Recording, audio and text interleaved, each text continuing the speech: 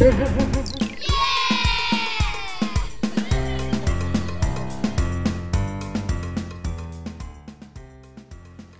chicos, ¿cómo están? Hola, profe Ara. Nos vemos después de tres meses.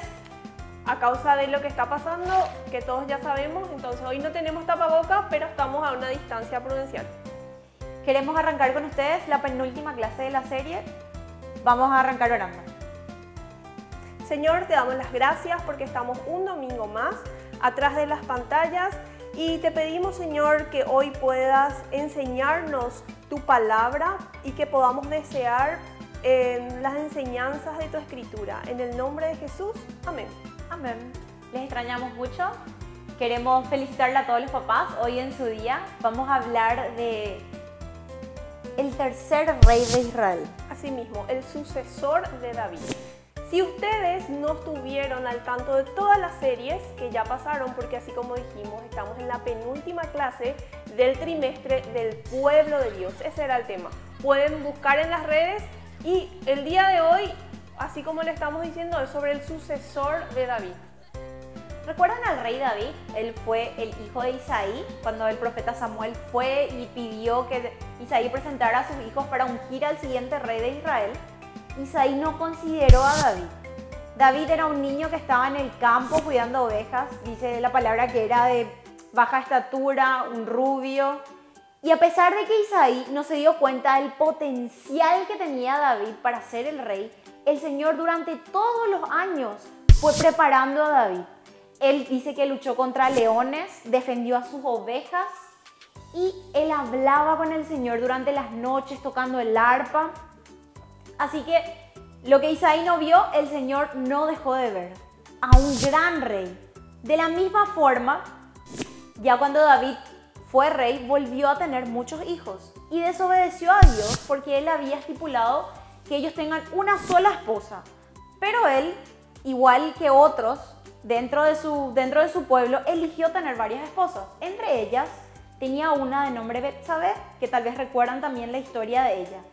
Él había prometido y el Señor también le había dicho a David que ella iba a ser la madre del siguiente rey de Israel. El nombre del hijo de Betsabé, que iba a continuar el reinado, era Samuel. En el capítulo 2 de Primera de Reyes, Era, profe, creo que no era Samuel, Samuel era el profeta, Perdón, era Salomón. Qué bueno que estás, profe. En Primera de Reyes 2 dice, cuando ya se acercaba el momento de morir, el rey David le dio el siguiente encargo a su hijo Salomón. Yo voy camino al lugar donde todos partirán algún día. Ten valor y sé hombre. Vamos a ver la coronación de Salomón.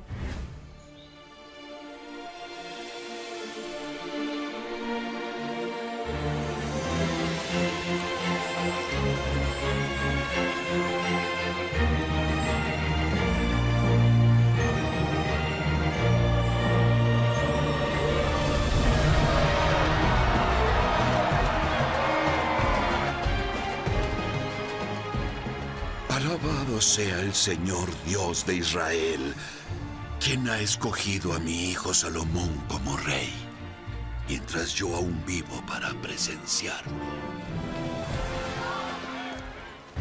Bueno, así como vieron la coronación, viste como toda la gente decía, viva, viva el rey. Muchísima gente, viste que mucha gente. De la misma manera que decían viva el rey David, también ahora decían a su sucesor que era su propio hijo, el rey Salomón. Y cuando nosotros hablamos sobre el rey Salomón, hay una palabra que está asociada a él, que es la sabiduría.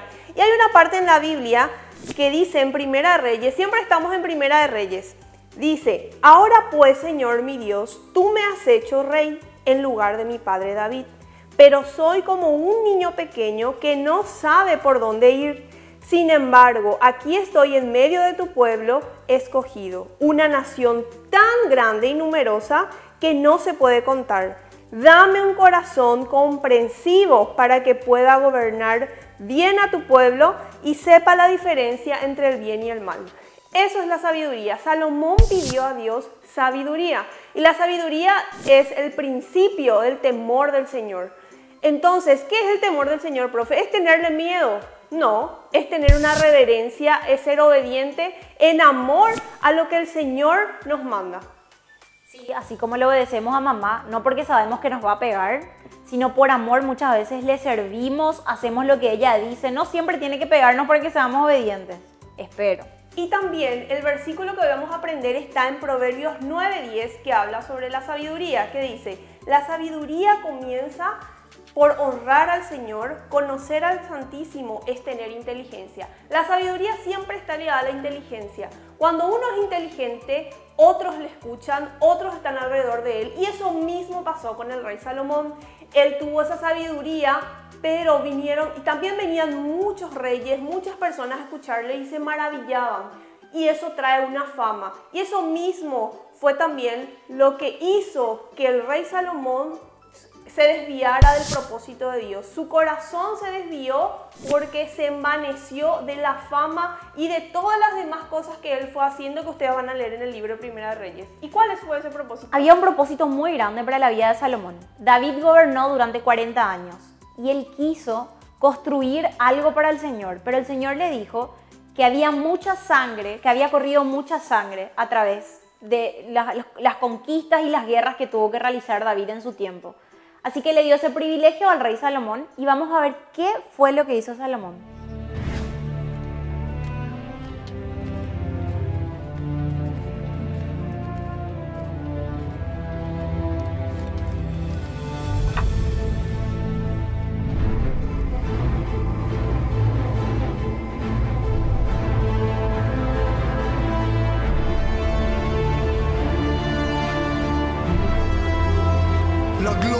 Señor.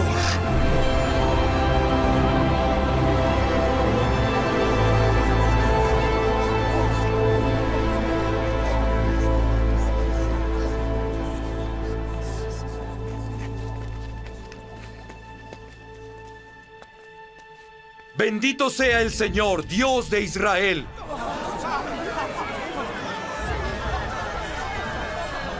Ni siquiera los cielos más altos pueden contenerte, oh Señor.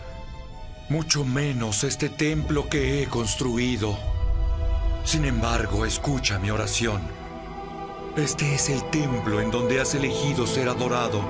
Que noche y día tus ojos estén sobre este templo, que siempre oigan las oraciones que elevo hacia este lugar.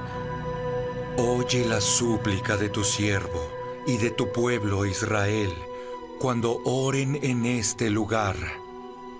Oye desde el cielo donde habitas, escucha y perdona nuestros pecados. Bendito sea el Señor, que conforme a sus promesas nos ha dado paz. Que el Señor nos ayude para que cumplamos los mandamientos que les dio a nuestros antepasados. Así todos los pueblos de la tierra sabrán que el Señor es Dios y que no hay otro.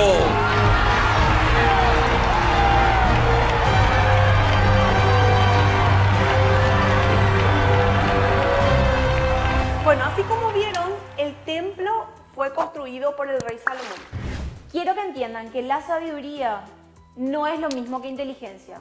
Un niño puede tener la capacidad de crear una máquina gigante con inteligencia. Los que están estudiando robótica saben. Y el robot puede ser usado para algo bueno o para algo malo, así como ustedes ven en los dibujitos con los villanos.